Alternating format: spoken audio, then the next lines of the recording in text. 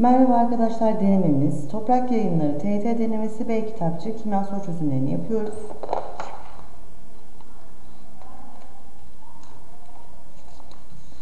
Sekizinci soruda aşağıdaki X, Y, Z baş grup elementlerinin temel elektron dağılımları verilmiştir.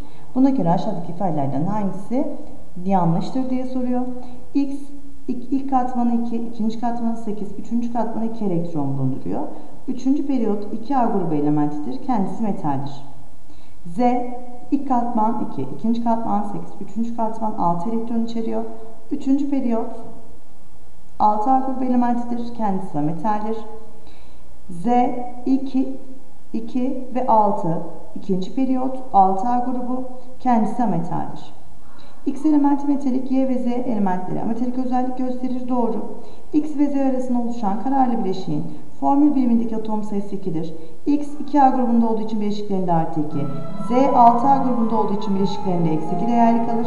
Çaprazladığımızda X, Z bileşiği oluşacaktır. Atom sayısı 2'dir. Doğrudur. Y ile Z elementleri arasında oluşan kararlı bileşik moleküler yapıdır. Ametal ametal olduğu için moleküler yapıda bileşik oluşturur. Kovalent bağlı olduğu için. Y ile Z, X Elementler arasında elektron alışverişiyle bileşik oluşur. Y ametal, X metal, iyonik oluşturacak elektron alışverişine dayanır. Doğru.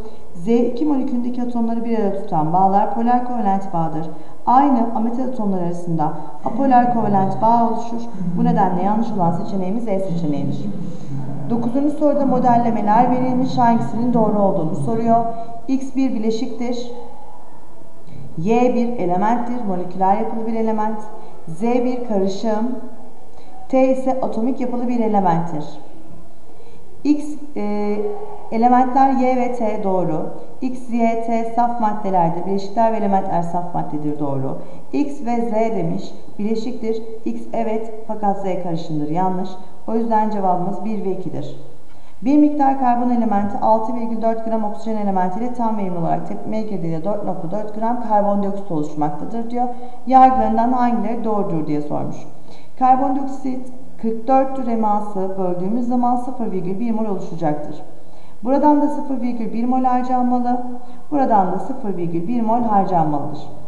6,4 gram 32'ye bölündüğünde 0,2 mole karşılık gelir. Demek ki başlangıçta 0,2 mol oksijenin 0,1'i harcanmış. Son durumda 0,1 mol oksijen artmıştır. Tepkimeyi sınırlandıran reaktif oksijendir. Oksijenden artan vardır. Sınırlandıran karbondur arkadaşlar. Başlangıçta kullanılan karbon 2,4 gramdır. 0,1 mol karbon 12 ile çarptığımız zaman 1,2 grama tekabül edecek. Yanlıştır. Karbondioksit bileşiğindeki elementlerin kütlece birleşme oranı. Karbondan bir tane var 12 gram. Oksijenden 2 tane. 2 çarpı 16 3 bölü 8 gelecektir. Doğrudur. Cevabımız Adana'dır. Aşağıdaki tabloda bazı katı türlerinin adı verilmiştir. Bu katı türlerini kristal katı ve amorf katı olarak ayırmak isteyen Gamze, içinde amorf katı örneği bulunan kutuyu karalamaktadır. Buna göre Gamze'nin yapacağı karalama işlemi aşağıdakilerin hangisinde doğru verilmiş diye soruyor. Cam arkadaşlar amorftur, mum amorftur, diğer bütün bileşikler kristaldir, maddeler. O yüzden cevabımız C seçeneğidir. 12. soruda klor 37 atomunun atom numarası ve kütle numarası verilmiş. Klor 17, 37. Buradan kütle numarasının 37, proton sayısının 17 olduğunu bildiğim için nötron sayısına geçebilirim 20. Artı 7 yüklü iyonu, artı 7 yüklü iyonunun 10 elektronu vardır doğru. Kalsiyum 20 azotopu ile izobardır diyor. Nötron aynıdır, izotondur olacak. Yanlış. B seçeneği yanlıştır. Nükleon sayısı 37, kütle numarası demek 37. Doğrudur. Klor 35 ile izotoptur. Evet izotoptur. Nötron sayısı 20'dir. 20'dir. 13. soruda bir miktar saf su, yemek tuzu kullanılarak diyor. 1, 2, 3 numaralı özdeş kaplara aşağıdaki tabloda belirtilen miktarlar e, de maddeleri eklemişiz. Kaplarda bulunan maddelerin bir ATM dış basınç altındaki donma noktası tablodaki gibi olduğuna göre yargılarından hangilerinin doğru olduğu sonucuna ulaşılabilir diye sormuş. Uçucu maddeler, e, uçucu olmayan maddeler, katılar Saf su ile karıştırıldığında oluşan karışımın donma noktası suyun donma noktasından daha düşük olur. Bakın 10 gram ve 20 gram şeklinde çözmüşüm. Çözmediğimde 0. Çözdüm. Eksi 6,25, 20'de eksi 12,70. Ne kadar çok katı çözersem donma noktası o kadar düşer. Bu yüzden bu ifademizi çıkartabiliriz.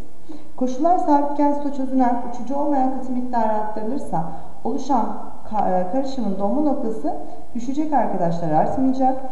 Donma noktası sabit dış basınç altında su çözeltiler için ayırt edici özellik değildir. Ayırt edici özellik değil çünkü saf değildir arkadaşlar. Bunlar 1 ve 3 doğrudur. 14. soruya bakıyorum. Aşağıdaki bileşiklerden hangisinin sulu çözeltisi özelliği yanlış verilmiştir? Amonyak arkadaşlar bazdır. Bu nedenle yanlış verilmiştir. Cevabımız B seçeneğidir.